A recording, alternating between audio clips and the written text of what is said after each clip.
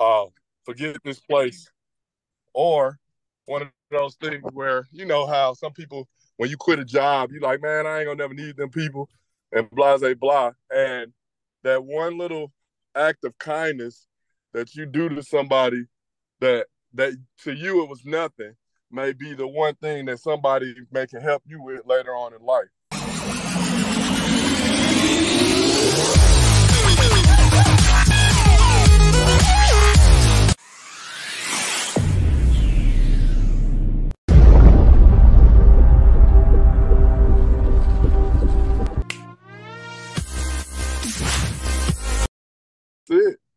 Tap in. Let's tap in.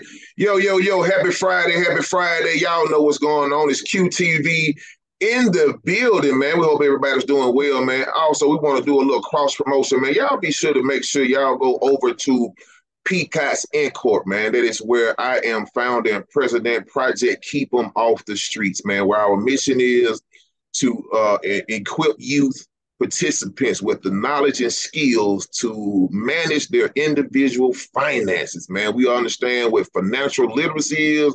Y'all get on over there, visit www, the World Wide Web at. Y'all know we got to support the youth, and the youth is the future.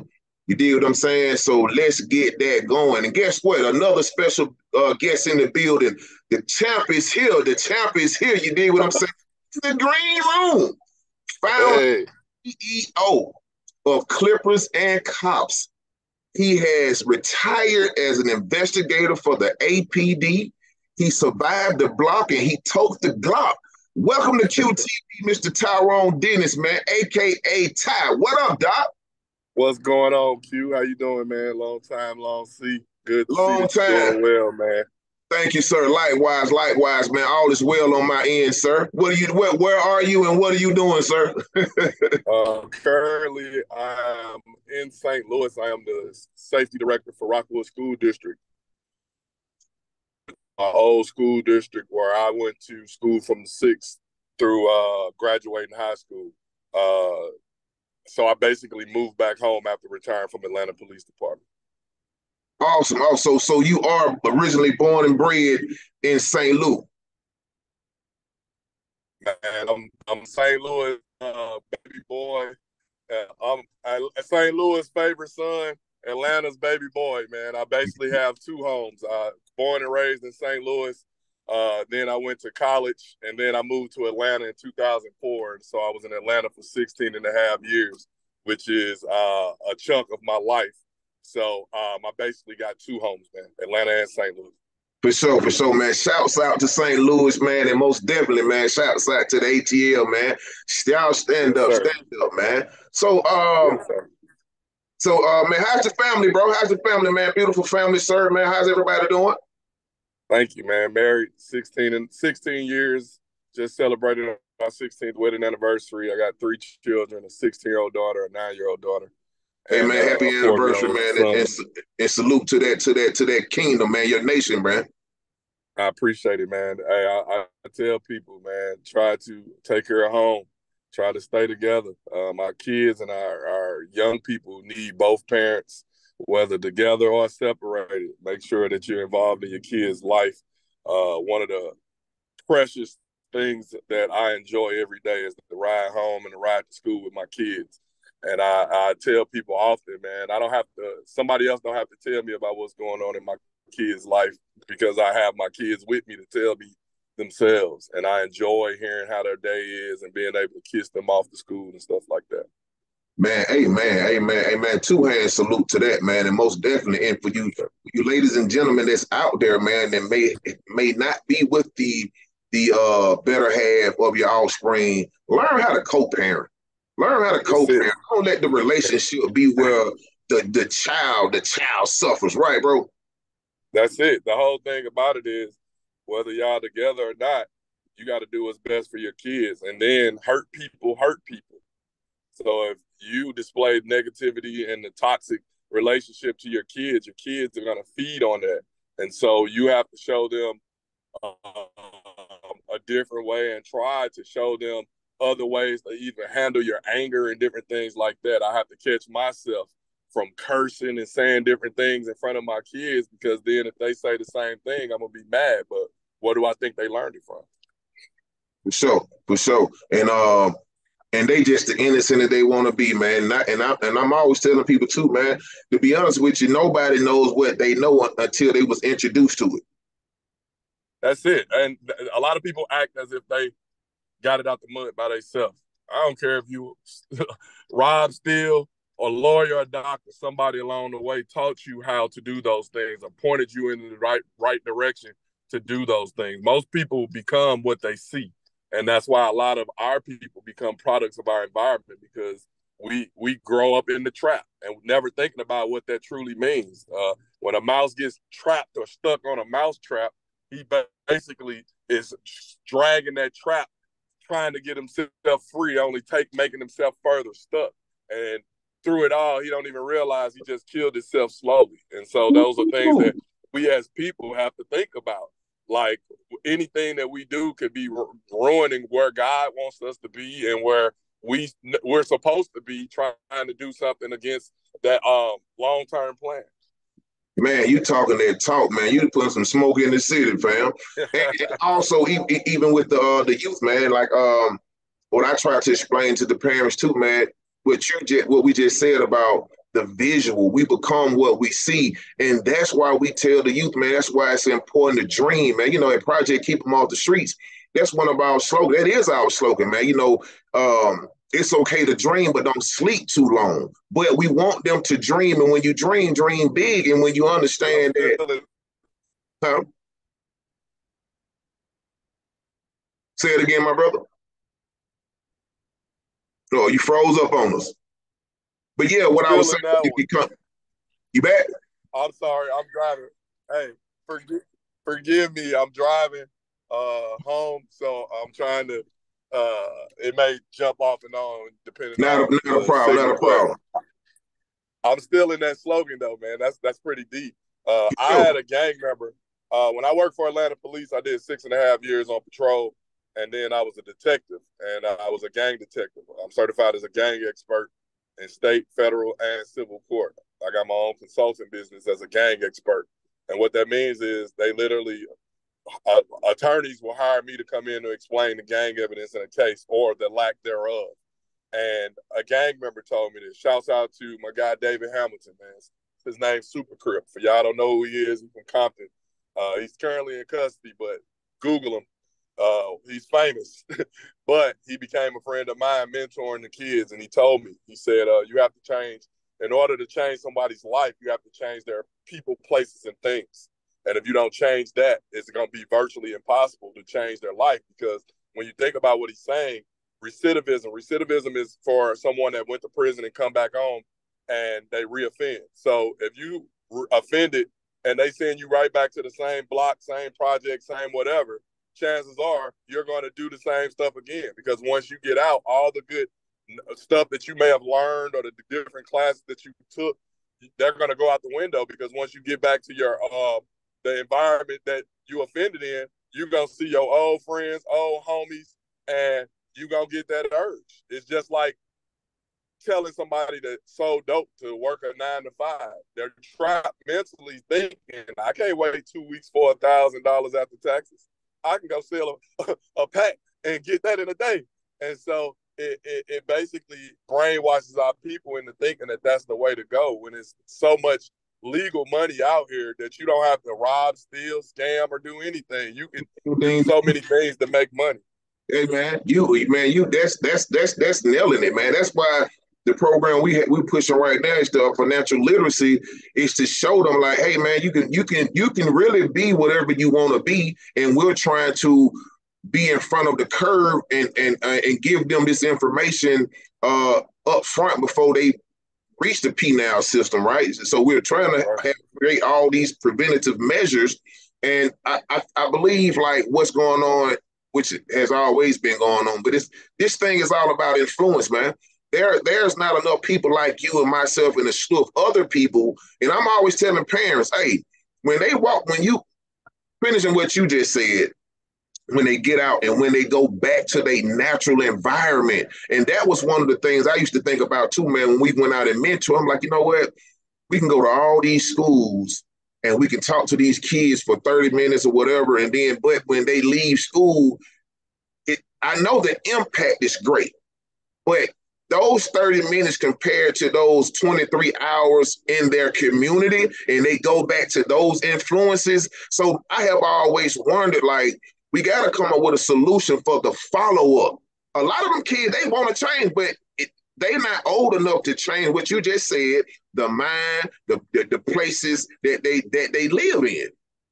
That's correct. And so as we do clippers and cops uh we did we started we started in the barbershop in 2018 and that's awesome because we get to talk to the community and usually that's older people. And then what i discovered uh, i had been mentoring since 2004 going to school started with project grad uh, then met reese and with uh with the radio station uh, maurice swing and correct that's my guy we played ball together he didn't know i was a cop For and sure. then uh I'm ducking on people, and he like, hold up, and then he saw me put on the uniform. But by doing that mentoring, uh, I learned that you have to stay on these kids.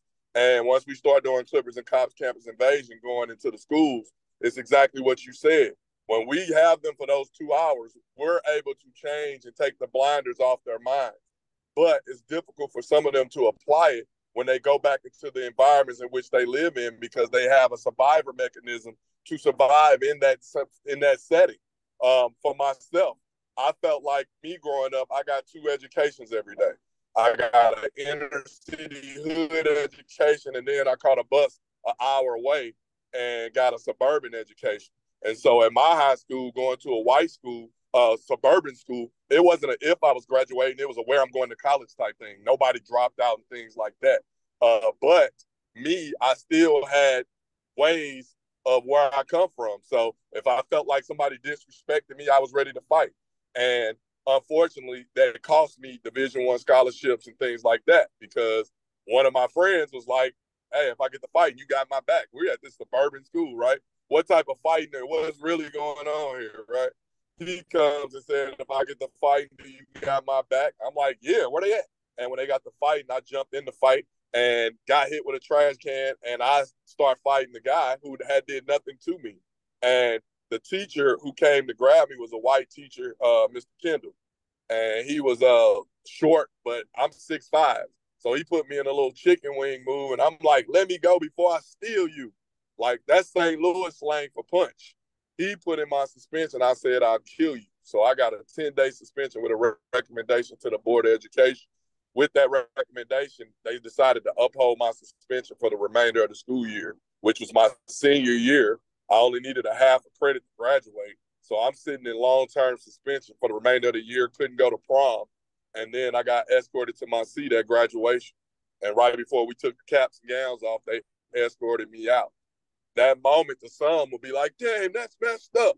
Yeah, it's messed up, but it was the best thing that ever happened in my life because that storm actually cleared a path to where I am. Um, I had Division One schools ready to sign me out of high school. I was basically picking through who I where I wanted to go, and th- that incident made them pull back, forcing me to go to a community college. At that community college is where I met my professor. I chose to major in criminal justice. I was the first person in my family to go to college, first person in my neighborhood to go to college. So I didn't know what to major in. I'm going through my course catalog and I saw criminal justice, and I'm like, well, I know crime and gang banging, so I already know criminal justice. so when I major in it, I'm the only black student in the major, and so my class, my professor was a former FBI agent. So he not knowing, and I'm not knowing that I just got this awesome education from the school I went to. When he's asking questions, I'm able to hold my own in class lectures and stuff like that. Yeah. And so one day he come to me and was like, Mr. Dennis, what are you trying to do with your degree? And at 18, I'm like, I don't know. I'm here to play ball.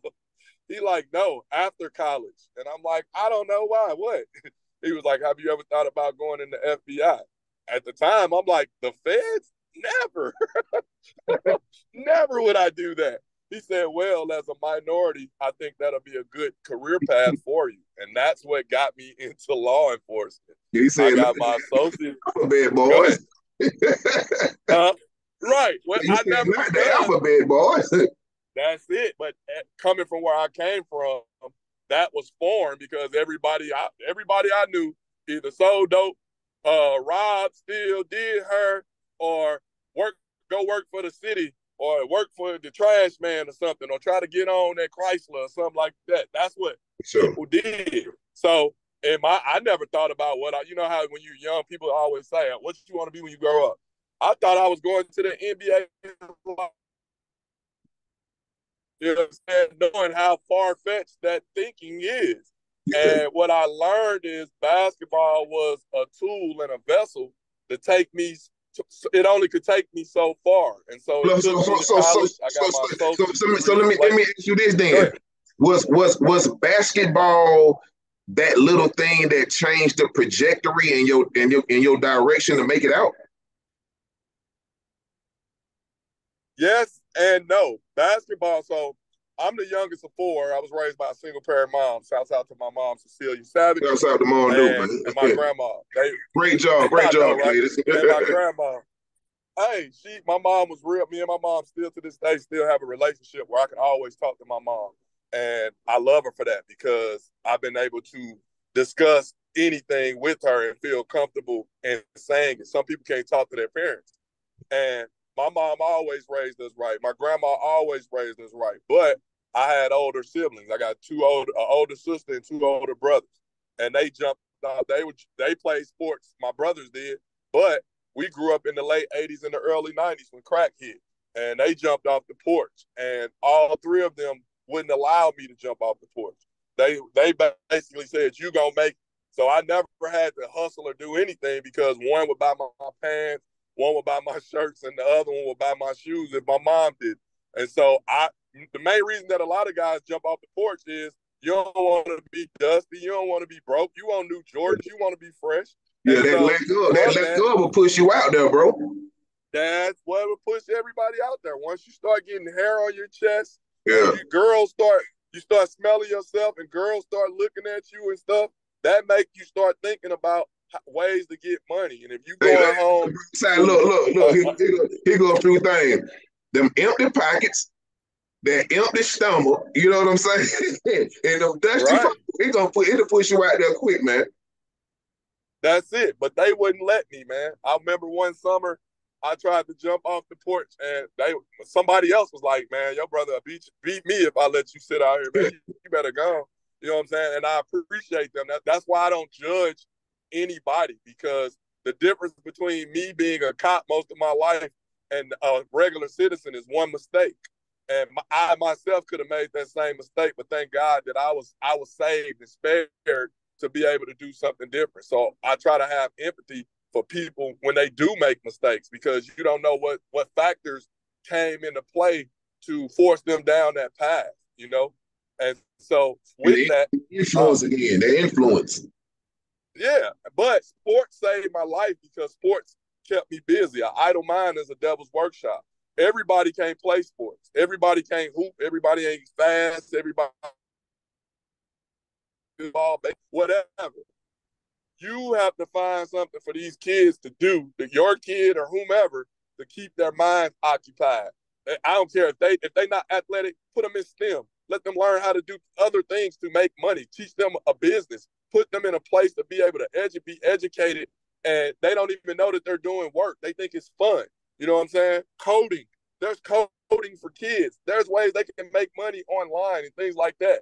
And when you when you think about that, the reason I say I talk about sports is because I coach. I coach basketball.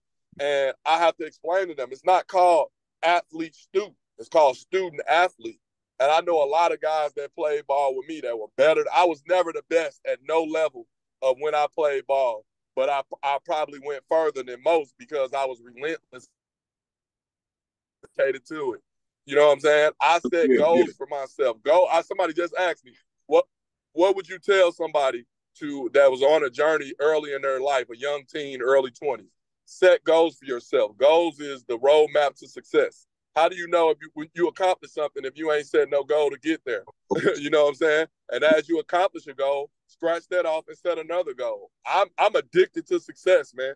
Like me accomplishing something to me is is is a great uh, milestone, a great thing because I set out to do something. But I'm greedy. I want more, and I feel like God gave me the ability to think and use my brain to do so much more. And as I embark on life, I'm 44 years old. A lot of the stuff I've accomplished, I'm I've been working without a net for almost 20 some odd years because after a certain point, my mom often tells me this. She's like, son, I was happy with you just graduating high school. She said, then you graduated from and got your associate's degree. Then you graduated and got your bachelor's degree. She said, then you became a cop and left Atlanta police after 16 years as one of the most decorated officers that ever came through. Most officers do 30 years. Hold on. All my awards. Okay, we're gonna get Hold on, hold on, hold on, hold on. Cause I'm sure going You over there listening, like, hold on, boy. Let me, let me. I got questions for you.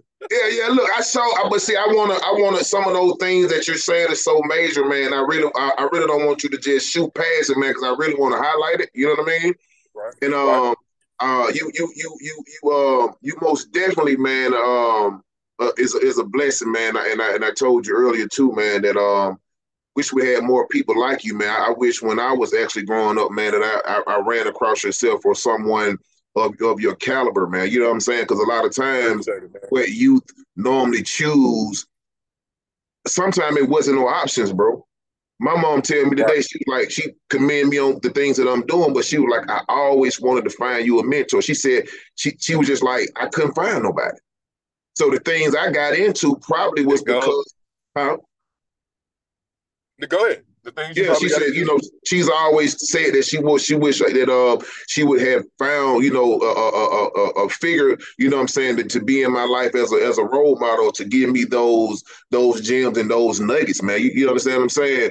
Yeah, I'm, I'm, I'm gonna take it back for a minute, man. Slow it down a little bit. Like, you remember how we met, bro? I do. We met at the 107.9 event with the kids at the school. No, no, did we? I thought the radio station, right? Was it the meeting at the radio station? Yeah, with the, at the radio station. Yeah, it was the uh, uh the, the 107 nine, uh, the Bullies Not Hot tour. Yeah. And I was invited by Art Powell, man. And shout out to that guy, man. Art Powell, man. That's okay. That's, that's who connected me with my, all the other people, man. That Art Powell is a, a good friend of mine as well. Yes. And he and I have crossed paths over the years, mentoring and doing the same stuff. And the reason that I appreciate Art is Art has a crazy story about going to prison, being chased and shooting at the police, and then he, my buddy, being a police. So who would think that we would be friends? But I love Art being with me whenever I went because I, even though some people may say, "Oh, you you real as hell," the moment I say I'm a police, some people are turned out to me, and I understand that fact. But Art is gonna tell you from his standpoint, whether you listen to me or not, you go between the two of us, one of us gonna catch your ear. And I like art is because people talk to them about hand to hand combat. You know, he do you jujitsu and stuff like that. And right. being in a prison cell, there ain't no Dracos, ain't no extendos in prison. and if you can't fight, you got a problem, big dog. You got a problem. you know what I'm saying? And that's what I, I appreciate Art for that. For man. sure, man. For sure, man. And shout out to Art Powell, man. Hopefully, man, me and that guy can touch bases, man, again, man, and uh, hopefully get him on the show soon. You did what I'm saying? So I just wanted to pay homage to that man, because you know I learned some stuff, and even with his program, man, we had it came together, man. I was able to uh, hold down one of his programs in the, uh, the, the County, man. So again, man, shout out to uh, Art Powell, man. You know what I'm saying for the connection, man. I've always seen them, you know what I'm saying, uh, round up a, a, good, powerful team, man. From now to to even back then, man. So I, I appreciate the uh, the opportunity he he gave me as well, man. So I wanted to speak on that publicly. You dig what I'm saying? Yes, sir. He does something with uh, called Credible Messenger, and he also yeah. did uh real we did messenger. I just I think I just I just ran across that page or I saw the t-shirt on somebody's page just like day before yesterday or something. Correct. And so we used to he and I uh used to do something with uh the US Attorney's Office. Shout out to Danielle Wiley. Uh she does community affairs for the out of the US Attorney's Office. And we used to do something called Real, Talk with uh Real Talk with the Law. and we used to talk about uh, the law and helping guys understand. Some guys, it's almost like jump off the porch into the streets, not even knowing the game that they're playing. You know what I'm saying? Like, like you don't even know the, how can you win at a game if you don't even know the rules to the game? The law, the law, the I, law. Because I, because I teach a lot of um, I, I I don't say teach, but I do show information dealing with like credit, law stuff, uh, um, uh, being in the penal system programs that I had taken, you know, upon my release and stuff like that. Man, I'm like, how can we say things about the, you know, that we're living in a place that's governed by laws, but no one knows laws.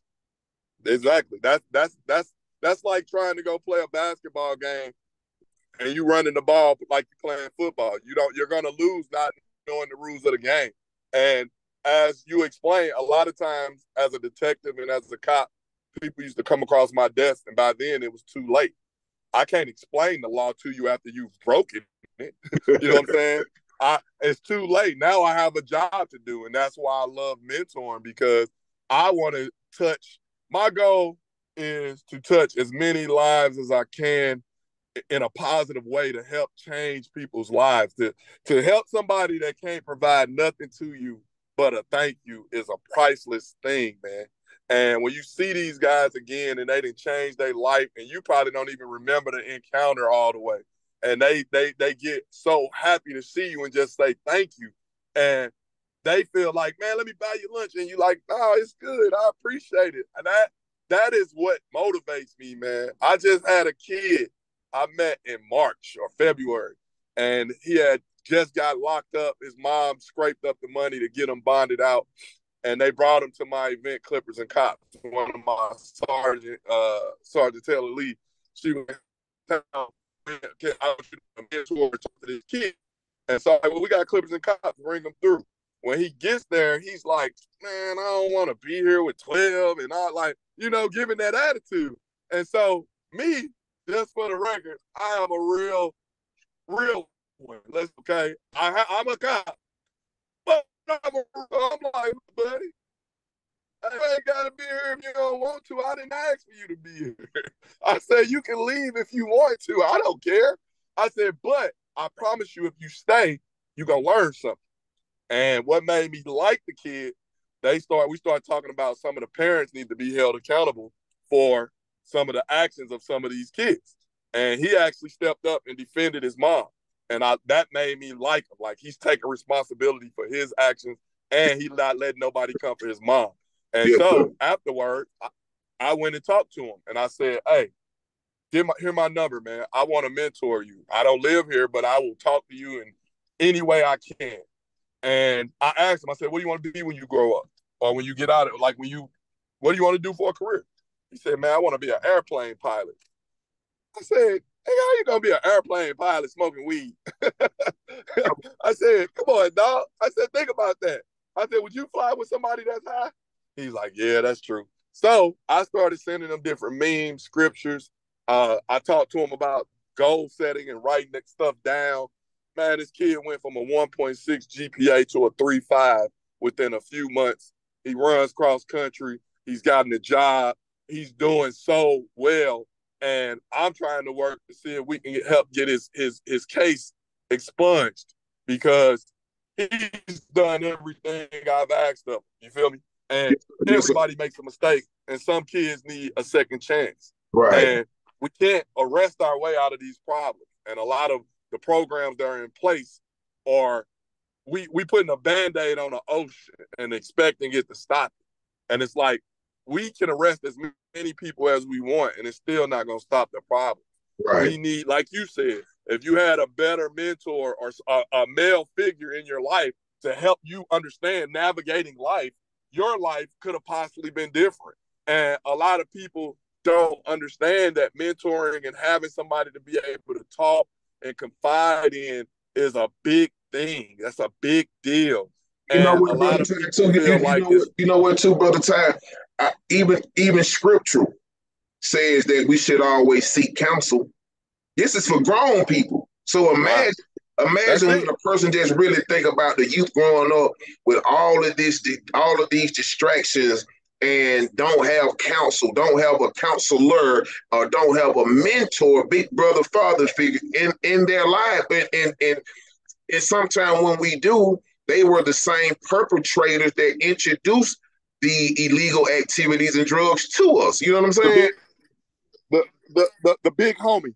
Anytime I hear somebody say the big homie, uh, you have to ask a big homie a real big homie, a real big brother is not going to direct you to something bad. They're going to direct you to something good or try to help you change your life for the better. Because nobody that truly cares about you is going to direct you to failure or direct you to a path that they went through that did work.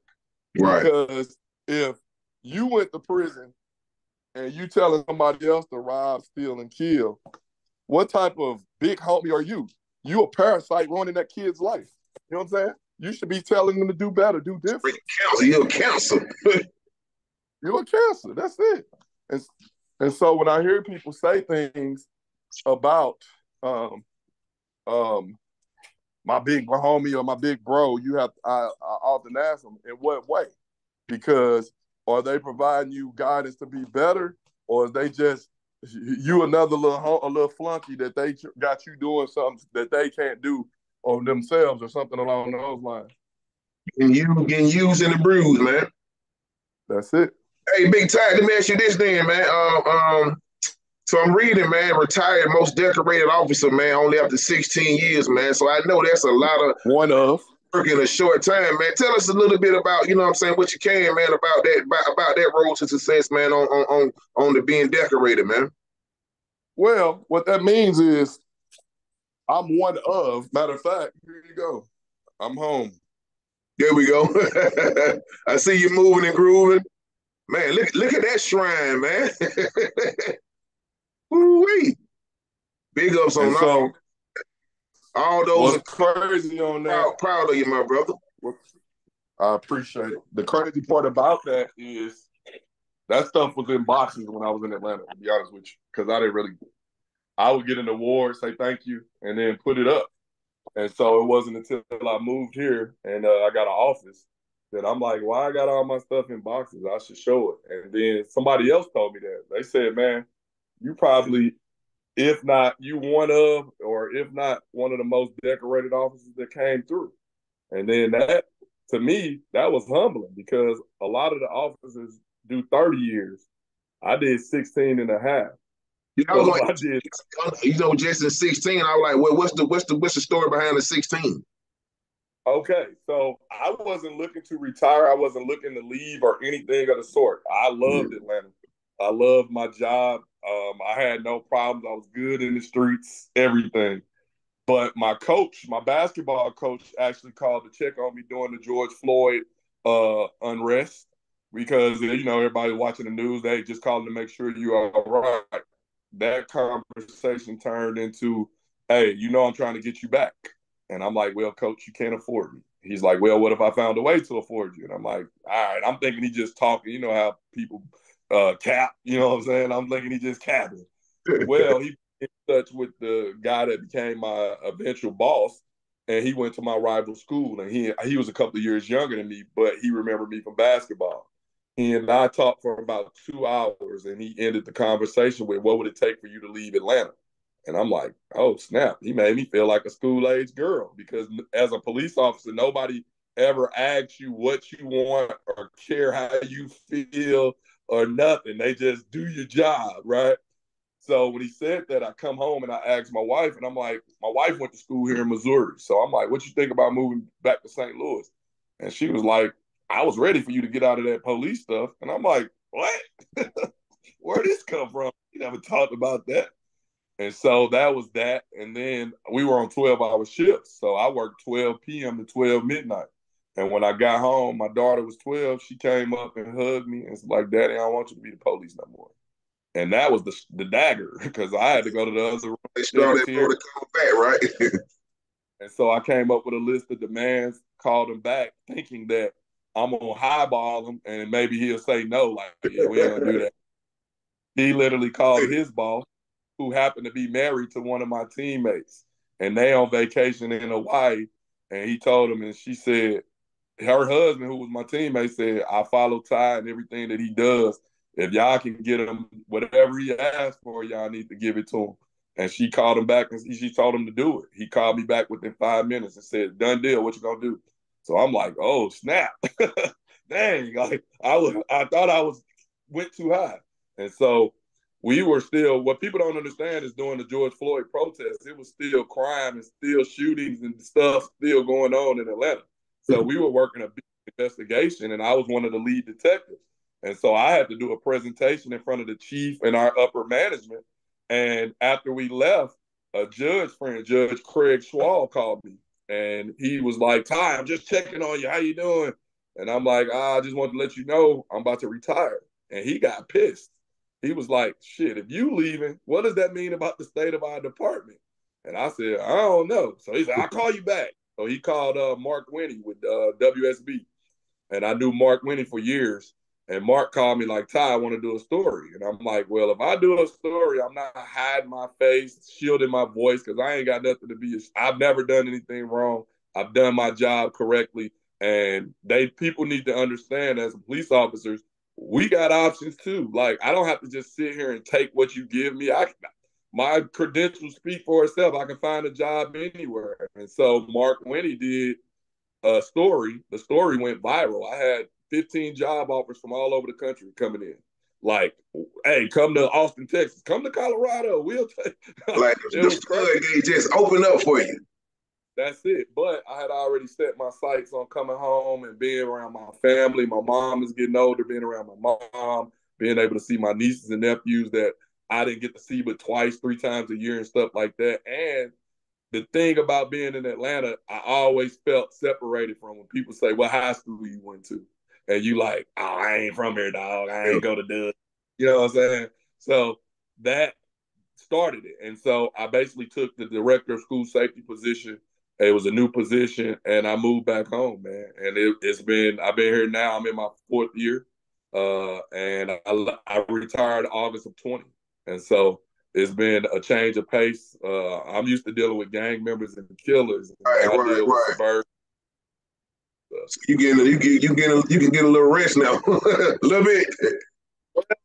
It has different problems, but it's not yeah. as serious. Like we were dealing with life or death with the cases I worked. I worked. I've had dinner. you was on the clock life. too, so you know what I'm saying. You were on the clock. Yeah, so, like, yeah you tired now, so you can kind of hey well, I can focus on my program, which is Clippers and Cops. I love doing Clippers and Cops, and the reason for it is just like you said.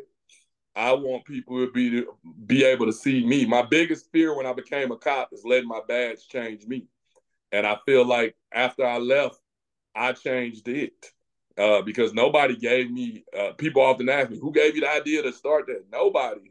I felt I was different. The moment I walked in the door, I knew I was different. I knew I came from a different walk of life.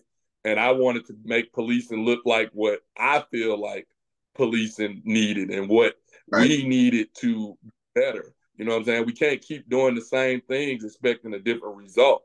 And so what happens is when I go get my haircut, it's no holds bar. Everybody has a voice. It could be the the garbage man. It could be a doctor, a lawyer. It could be a cop. It could be a, a, somebody that sell dope.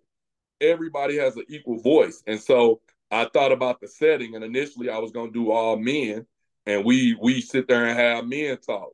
After we did the first one, a mom reached out to me, and she basically was like, "I want to bring my my son. I'm a single parent. I want to bring my son, just like you said, to hear some of these men talk." Man. I couldn't exclude her. I didn't right. want to exclude her because she that voice, and uh, with that voice, we, we were able to, uh, you know, I've learned so much from not only different people, but I've learned stuff from activists.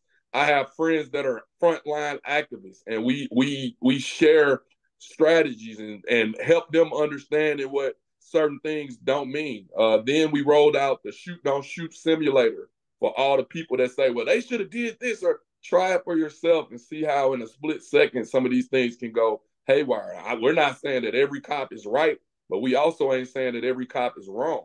Yeah, I, for me, I heard you say that on a lot of occasions too, man. I, have heard you say that on a lot of occasions, man. And um, talking about that Clippers and Cops, man, and what I've seen, man, I've I've I've never seen anything like it, man. Even when you post videos and I'm, you know, I'm I'm, I'm looking and watching, man. I'm I'm like, because in, in the beginning, because I was like, I was like, what is this? But I've always been a fan and watched, you know, what what you put up there, right?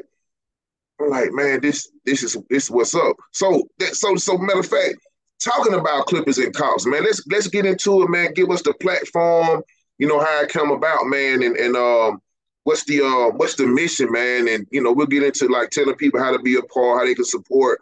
Yeah, like, man. So they, they, they talk about it, man. Clippers and Cops, uh, uh, bro, Ty. Oh, like I said, I mentored since 2004, and then in 20 when when Trayvon Martin happened 1st mm-hmm. you know, officer. I have my own opinions about what happened and felt a certain way, was upset about it myself, but we still got to go to work. So then you think of all the other officer incidents that happened. And then Ferguson happened, which is in St. Louis.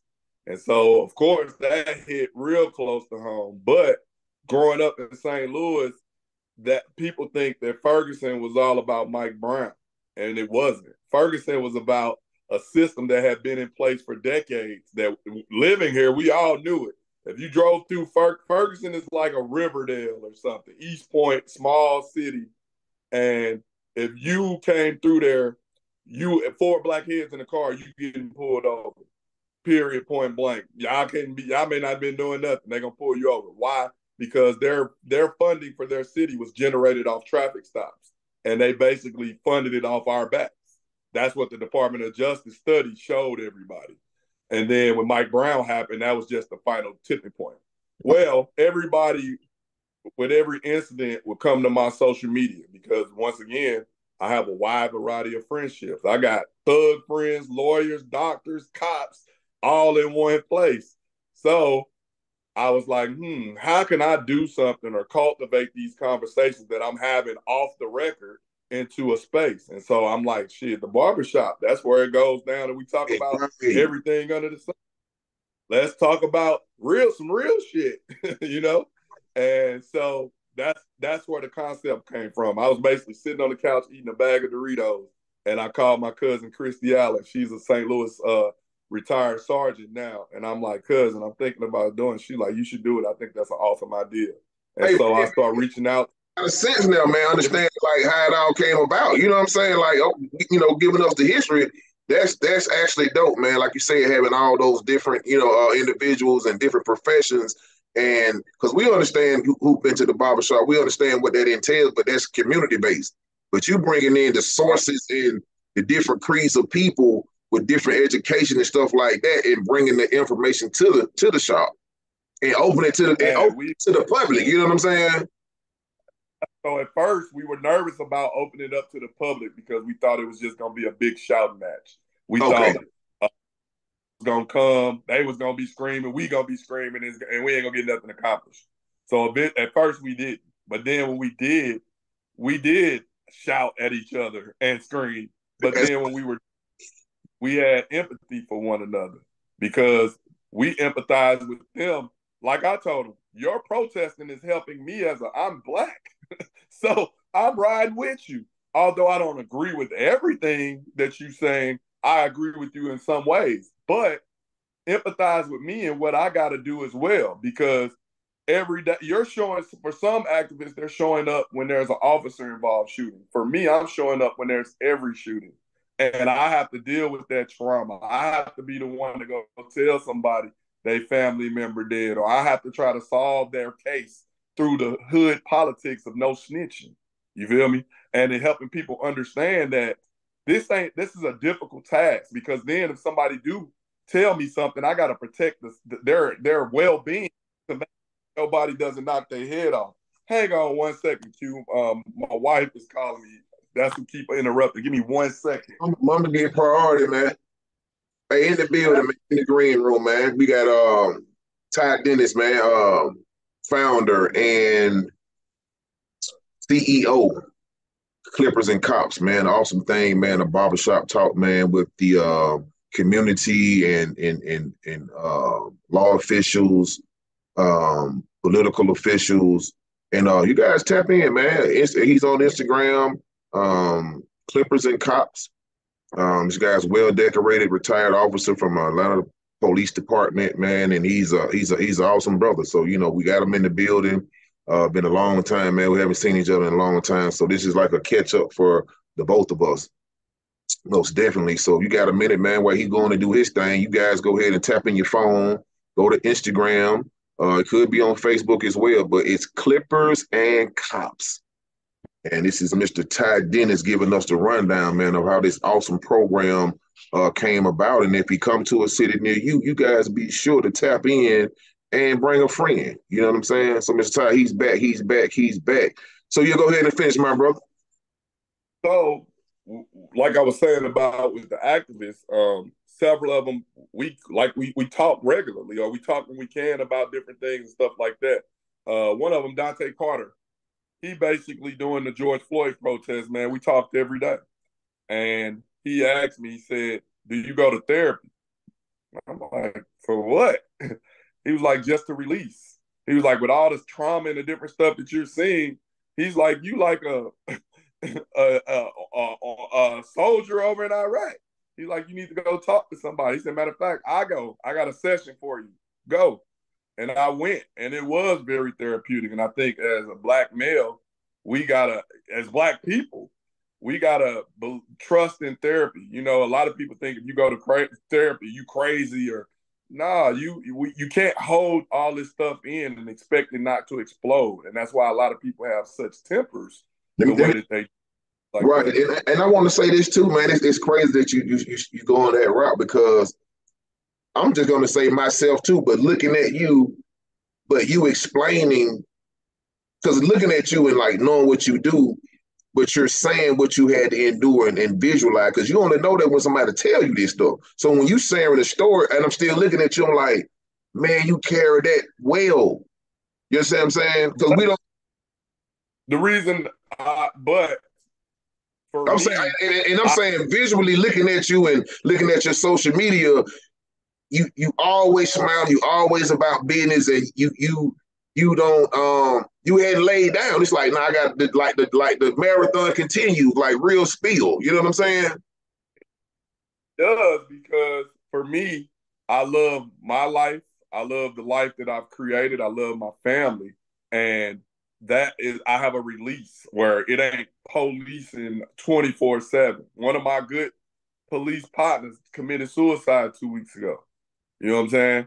And people don't understand everybody don't handle all of this and what we have to deal with. Uh, one of the activists uh, told me, she said, I think the police should have to go to therapy every Friday.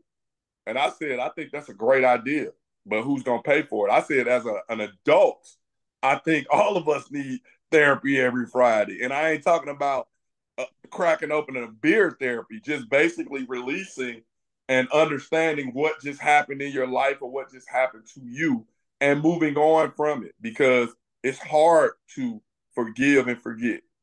I'm living proof. Like, don't don't like I tell people, don't get it twisted. I do. I'm not perfect. I don't live a perfect life. I just handle it better than most because I I wake up every day happy, man. When I used to be a police officer, I used to work day shift. I used to come in. This one dude said, "Why are you so happy all the damn time?"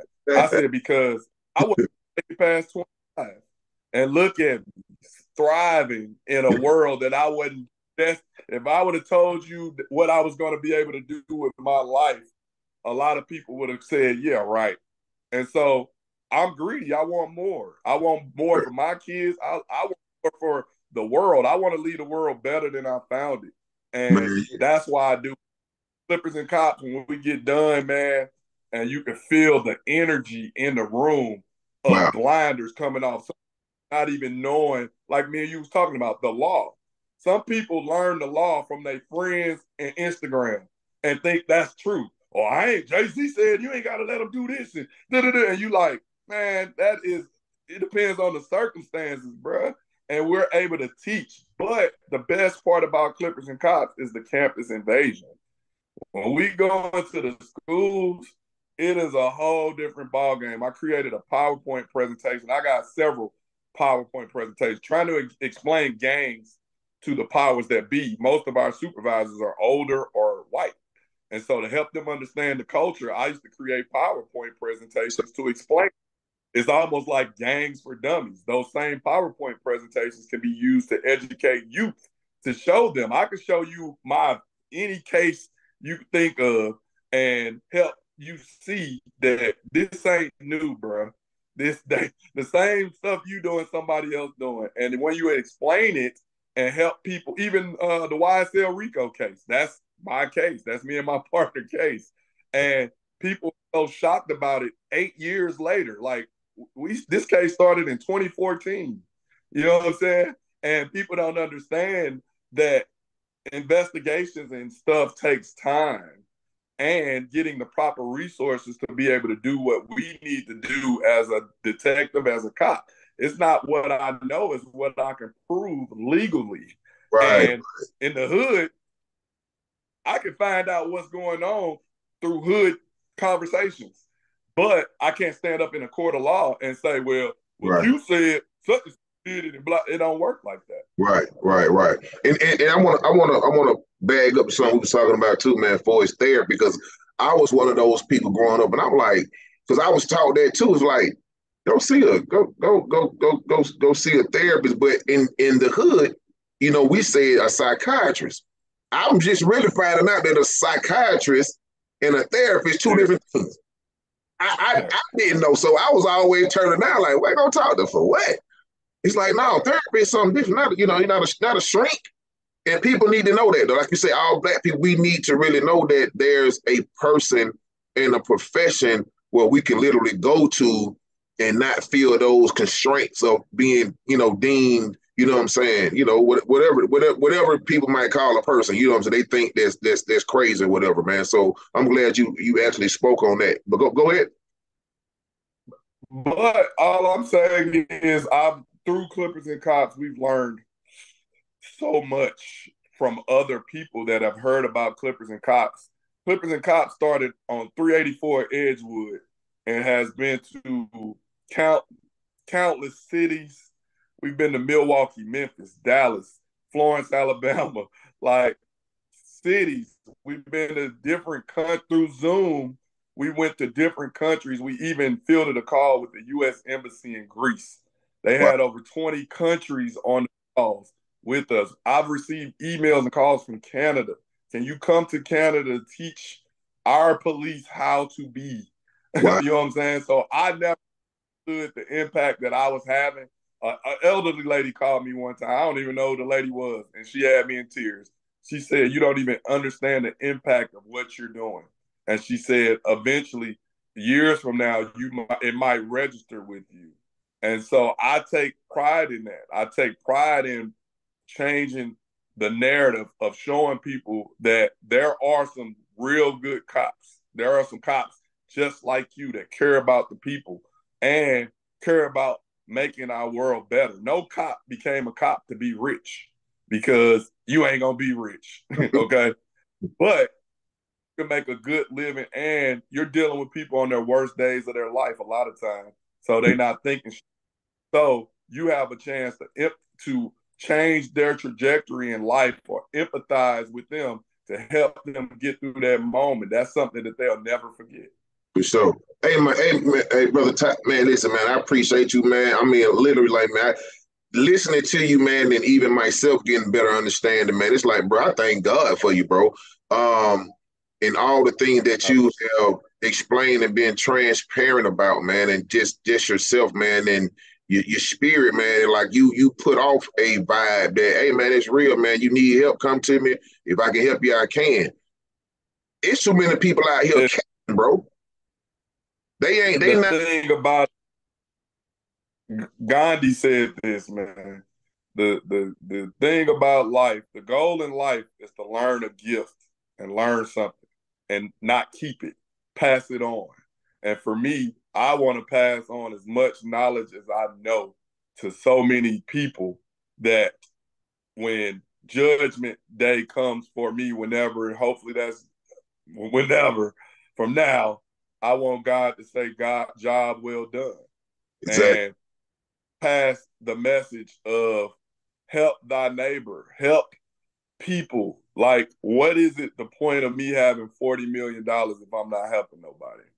What is it the reason of me knowing all this stuff that I know and not helping somebody else? Because guess what? After if I don't spread the love to somebody else, after I die, all that knowledge dies. And yeah. so people talk about what's wrong with the world and what's wrong with these youth need to get it together. And, okay, what are you doing? A lot of people like to talk, but a lot of people don't want to get their hands dirty and put their hands down in the dirt and plant that seed. And that's the hard part because some people talk you, people that's out here putting in the work. I said I, I, I made a post, I was I made a post. I said, when do saving lives become a competition? Like I'm doing what I'm doing. It's, it's it's me doing what I'm doing from what I know and the resources I have. Don't knock me. I survived. I'm looking at all of us like we survived. I survived, bro. There's a statistic that said this is impossible from the things that some, some, some of us went through. I'm like, look at me. And I'm only posting most of the time to say, if I done it, you can. And I'll show you how I done it.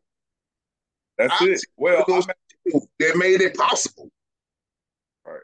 It's funny you say that because I made a post after my buddy uh, committed suicide about, and it basically said for anybody that's reading this, if you ever need somebody to talk to, right. you feel at your brink, give me a call. I will. I don't care who you are, because I feel like hopefully I can say something that spare your life to know that it's more to life than that day after every storm the sun comes out. Watch it. You know what I'm saying? And once the sun come out, it's better days to come. God will not take you anywhere that he can't pull you out of.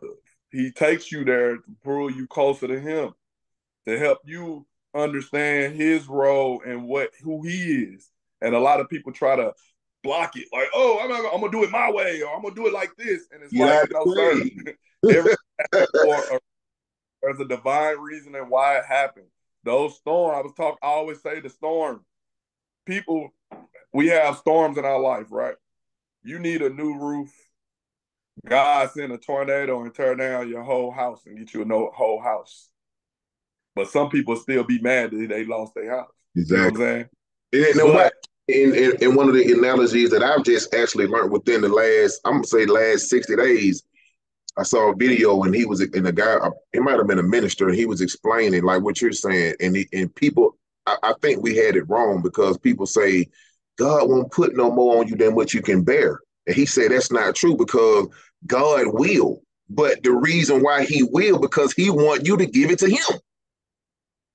So when you get in the way, you wind up carrying all that crap when you should have just gave it to God. He got God. You'd have been all right, and everything would have fell in line. And so, like I keep saying, when we see better, we do better.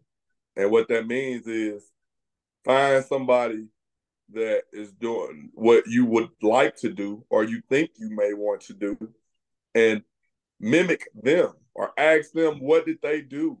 We don't have to figure this out. The crazy part about this generation is they got. You remember we used to have Encyclopedia Britannicas, and you had to get one of them. It's all I read growing up. Man, now you got it at your fingertips. So anything. Still got the book. I still have the Encyclopedia. It, and my mom, I still got them. the whole collection. Showing your age, bro. But the reason I'm saying what I'm saying is fingertips and you're able to look up and research anything that you want. And like I tell students when I talk to them, don't sit up in class and let your teacher just tell you whatever they tell you because they can only tell you what they know. And if you feel like it's it's just like history, right? I, me and my secretary had a d- debate about history, and I said it's not Black history; it's history. I said name a time because we was talking about Trump. And I said, name a time in American history when America was great. And she was like, I said, never. So when you say make America great again, that's a lie. America's never been great. and I started at 1492 and did a whole PowerPoint for her. And her mouth was to the floor because St. Louis in itself is built on segregation. The way the city is set up, segregation. Dred Scott case here in St. Louis. The courthouse right up under the arch, they used to sell slaves on the steps. Redlining, all these different things are still there. And so I lived in the area near what's called the Delmar Divide. Delmar Boulevard separated the haves from the have-nots, and we didn't even know it. Growing up, the pizza delivery person didn't come past Delmar. And growing up, in, when you grow up poor or I ain't gonna. My mama told me to stop saying you was poor. She said name something you didn't have.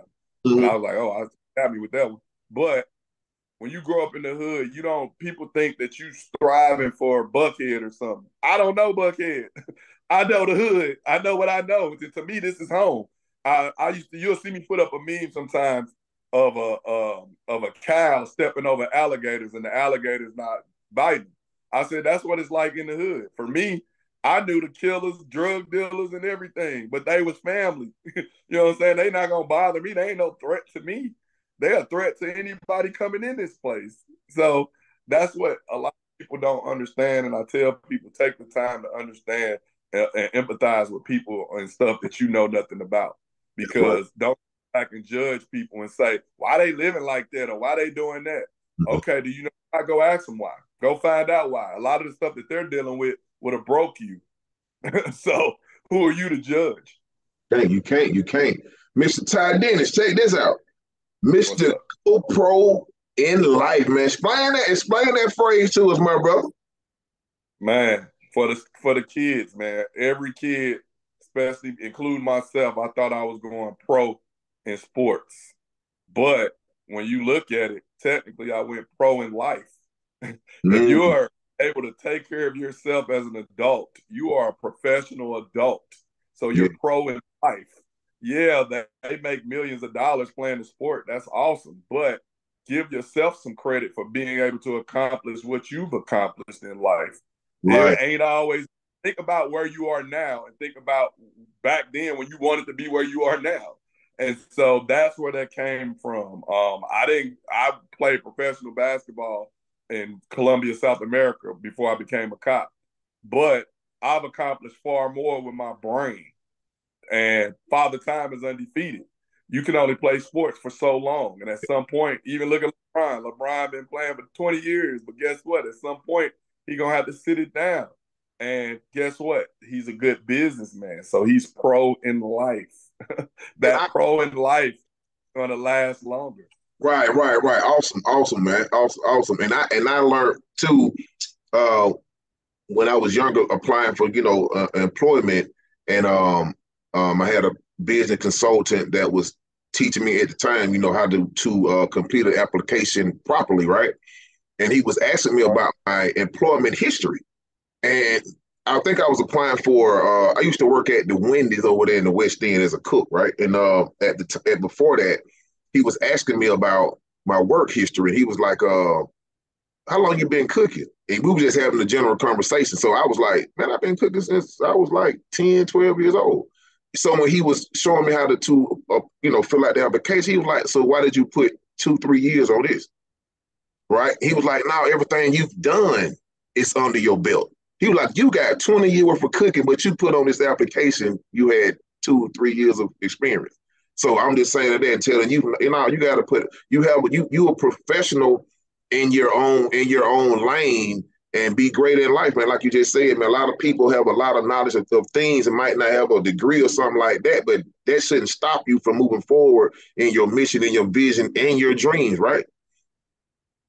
That's it. For me, I laugh because I was the keynote speaker at a graduation uh, this past summer, mm-hmm. and they put my resume basically in this book, the program. And like I said before, I've done so much that you don't even sit down and think.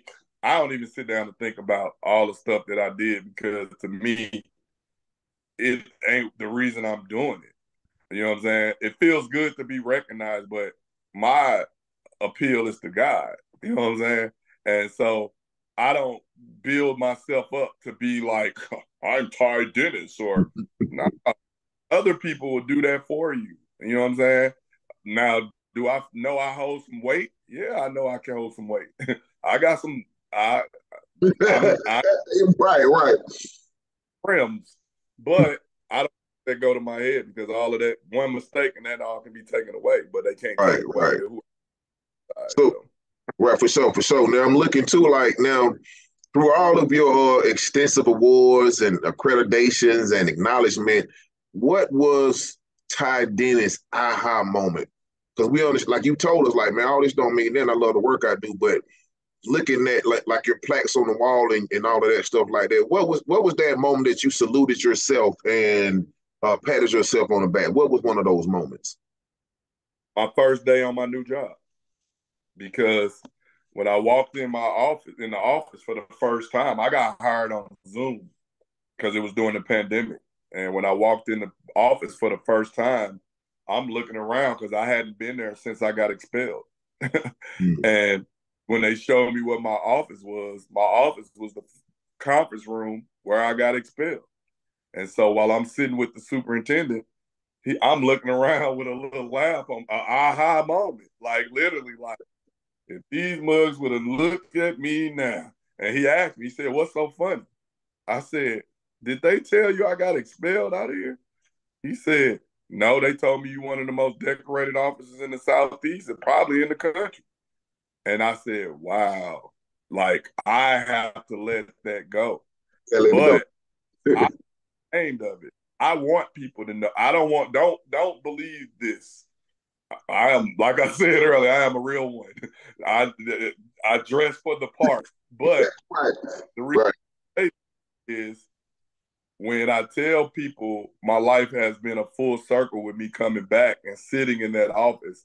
I have aha moments when I'm sitting around thinking about the people that thought I wasn't gonna be shit, or the people that got expelled turned their back, or the teacher sitting in class telling us we wasn't shit. And I actually took the teacher that lied on me to lunch. And he didn't even know that he, when I called, I reached out to him to tell him thank you. And he was like, What do you mean? And I'm like, You lied on me. He didn't even know it. I said, This is why diversity matters. And he's like, What do you mean? I said, Because you didn't understand my slang. You said what you thought I said, which got me 43 days, which changed my whole life for the better. But thank you for doing it. you know what I'm saying?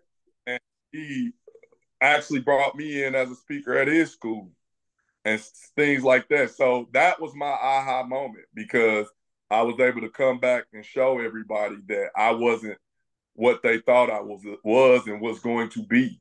And I've been able to do so much more through it. That is what motivates me to help other people like me that have been through stuff that people have counted out to show them that nah, look at me. If if anybody look at me, you can do anything that you put your mind to, bruh. I tell you, I make I start making calendars in my freshman year in college, and I still do it, and everybody laughs at me. One of my officers pick on me all the time, talking about, you know, you have a planner I don't. I got a planner right here. I don't use that. I do a I do a calendar because I'm able to see what I got. It keeps me organized. I got a million and things going on, and organization helps me be able to when I gotta study or do something helps me be organized for that. And a lot of people they just go remember everything, and then it's like, oh snap, I forgot. Like, nah, man, write it down. And people don't know how easy that is, man. That's actually those calendars actually how I conduct my life. You know what I'm saying? And that uh that organized being organized, man, have helped me tremendously, bro. You just don't know when I get up, I'm always like, okay, I need to do this. And I find myself completing those tasks because I'm looking at them. And I and, and, and right. every every quarter or every couple of months, I host a vision board and I keep trying, you know, have done it for young men. Like, no, we got to come in here and put that on them. Because, like you said earlier, even people that have maybe they're in their 20s or 30s, and I'm always like, what do you want to do? Can, if you can see it, like you say, if you can see it, you if you you can believe what you see, right? And I'm like, put it down and then let's start putting ourselves in those places around those individuals. You know what I'm saying? Let's let's get to them. You want to play football? Let's go talk to a coach. You want to be a business person? Let's go talk to a business, somebody in management, somebody in corporate, somebody in the bank. Let's understand what it takes to start knocking those obstacles down and get there. That's my that's that's all I'm showing people like let's get there. Let's learn how to do uh budgeting, marketing. I'm doing all this stuff because I'm just like I, I try to make myself more self-sufficient so I, I I wouldn't have to spend the money I didn't have, right?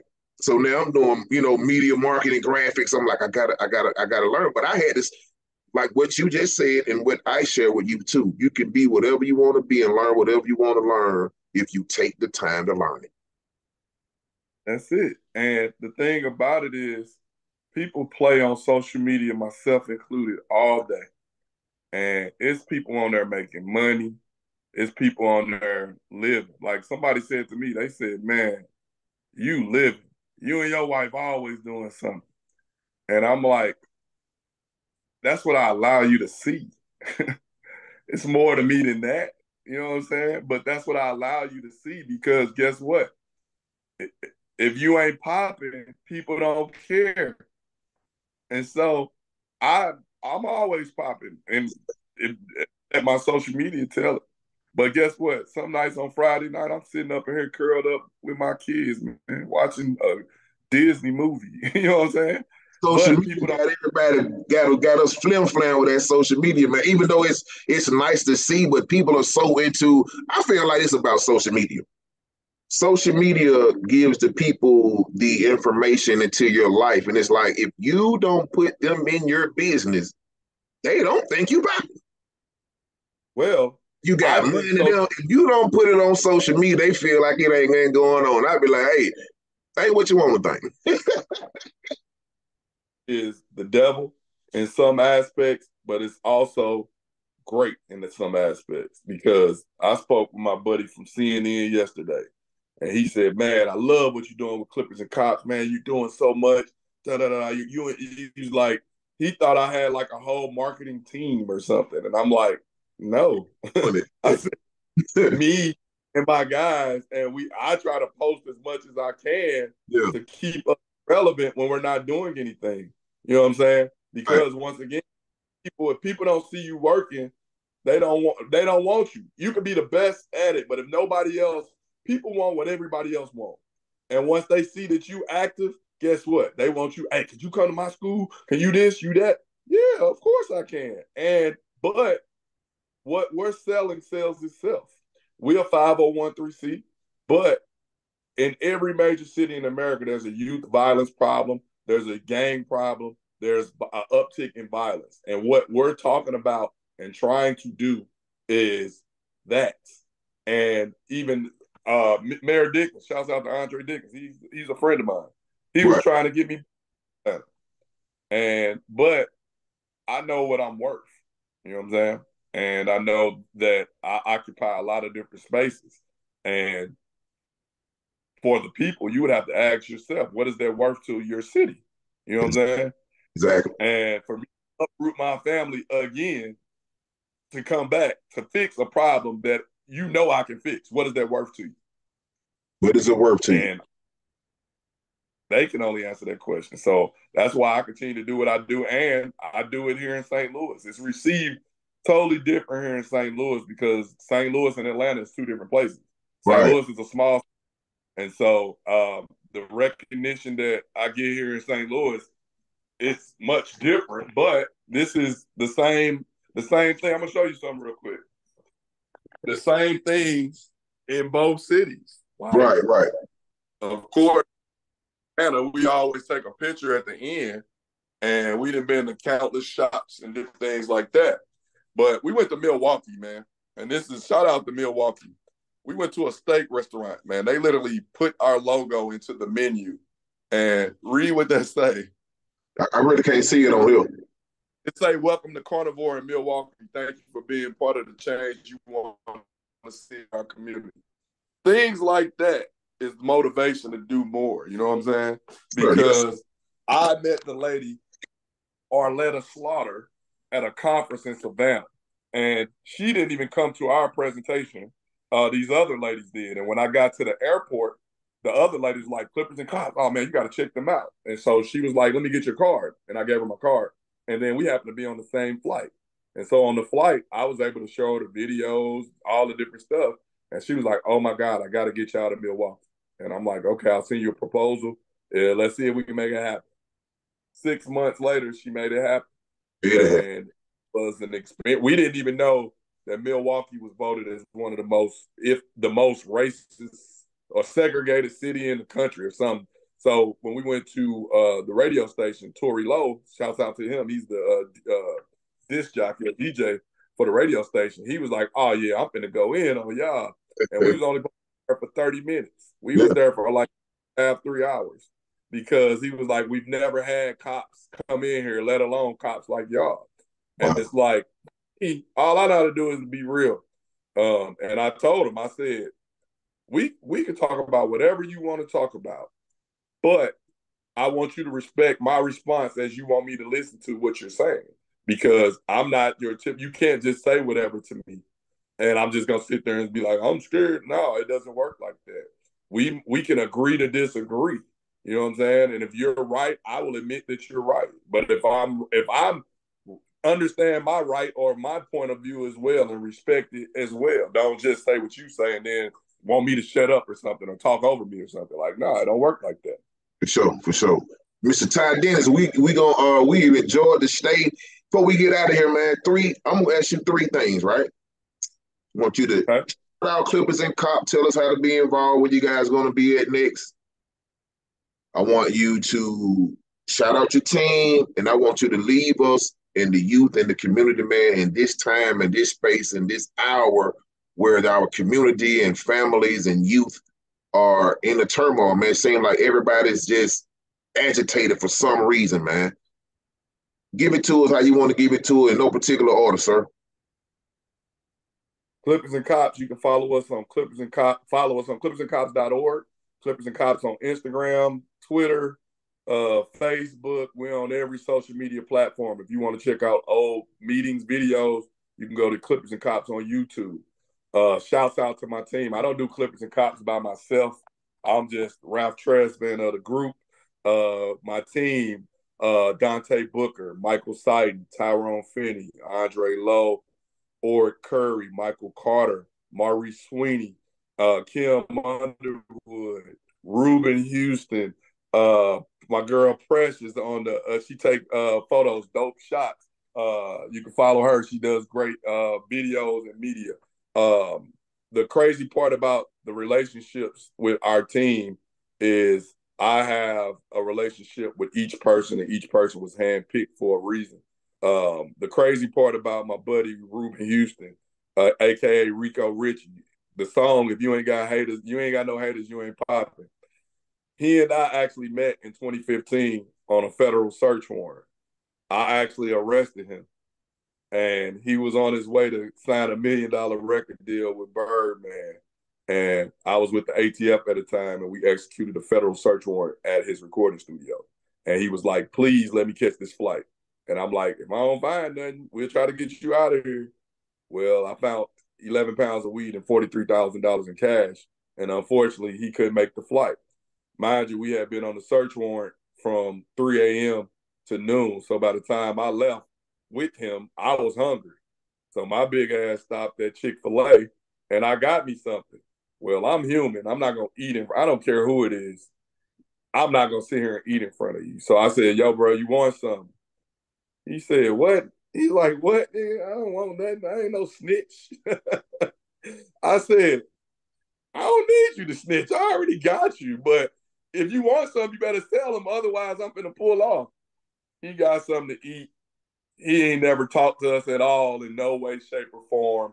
And whatever happened later happened.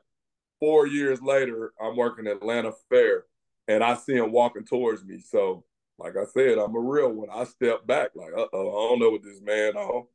He said, Nah, man, I want to shake your hand. And I'm like, For what? He said, Man, you're the first cop to treat me like a human being. If you ever need me for anything, let me know.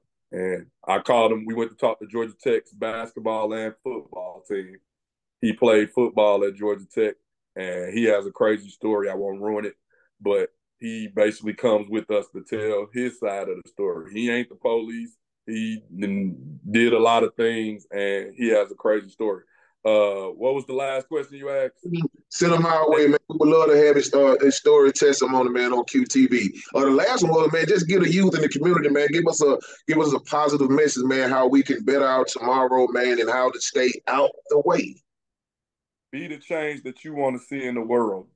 Don't continue to talk about what's wrong with the world. Don't continue to make the world and your world, your your city, your block, your building, whatever. Don't continue to make it a bad place to live when and you being the cancer.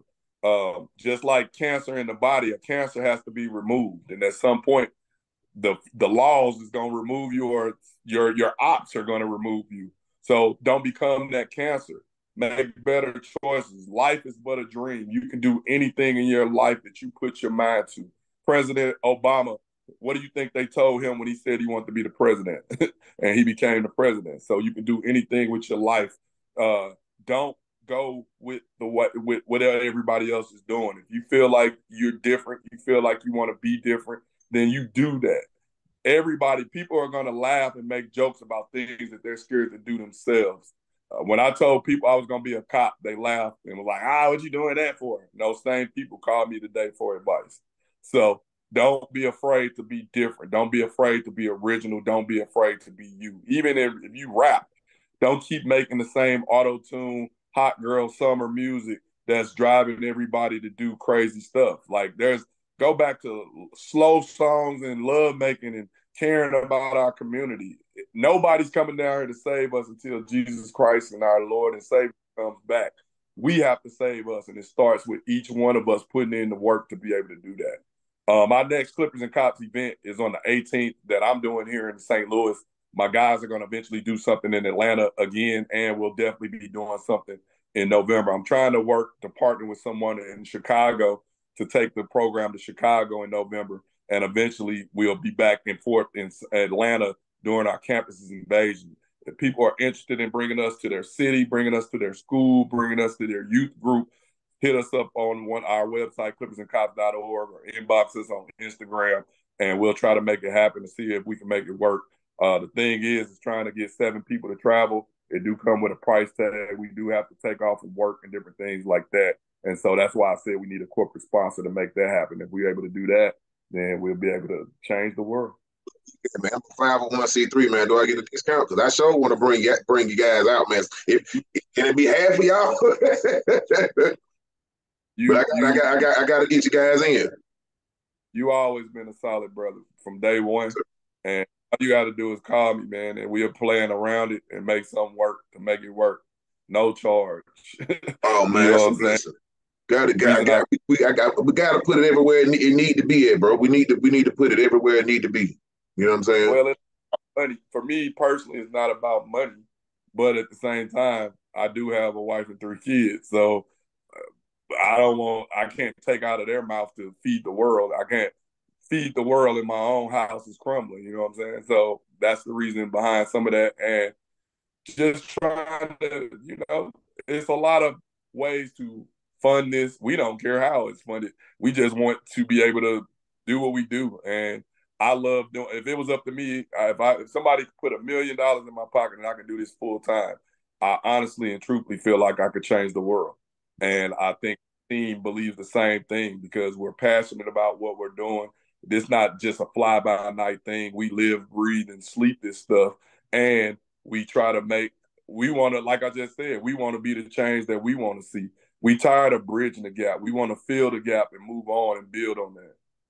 Hey man, that's real, man. Hey, in the green room, QTV, we got the brother, man. The big dog is on the playground, man. Ty Dennis in the building, man, CEO and founder of Clippers and Cops. He told you where to find you, told you how to get involved. He gave you the Instagram and the Facebook, Clippers and Cops, and it's clippersandcops.org. I believe the good brother said, man, y'all tap in, man. We're going to keep this good brother in our prayers and his whole team, man, as they travel to back and forth and all that good stuff. Grab some of that merch, when you see them, Tap in, leave them a message, man. Tell them some good stuff, positive vibes, big vibes, positive vibes. Hey, it's Dr. Harper on QTV. We got the brother Ty Dennis in the building. I spelled this man wrong early. He tapped in and told me, hey man, that ain't that ain't what's popping, Q. I got it right though. hey, but y'all make sure, man, y'all love on yourself, man, and uh take care of yourself and each other. Until the next time, man. It's Dr. Harper, Ty Dennis in the building, man. We love you, my brother. Continue to do what you're doing, man the saga and the and the marathon continues, man. And we love what you're doing, brother. Keep it up, keep it up, keep it up, man. There's anything we can do, promote it, have you back on in your team, man. The, our platform is your platform.